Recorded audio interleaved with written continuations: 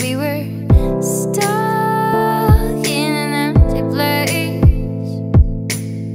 stuck with the image of each other's face.